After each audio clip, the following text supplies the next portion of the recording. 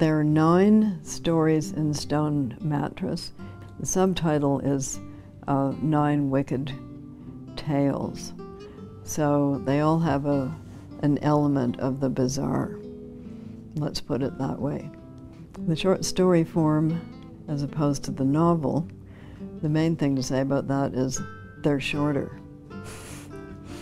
In my book, there's nine tales, seven of which are definitely Toronto.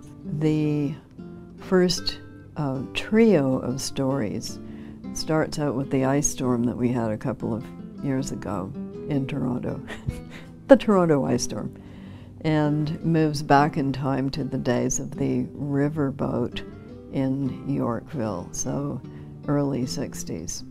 All three of the characters in those stories have been associated with that riverboat, and we're picking them up again at the time of the ice storm.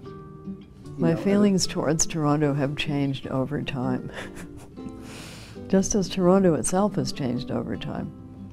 So it has changed from being a rather small, puritanical, um, nothing happened on Sunday, uh, rather Protestant dominated uh, enclave in the, say, 50s, 40s, 50s into what it is now, which is that a very cosmopolitan uh, place which, according to the United Nations, has people from more different countries in it than any other city in the world.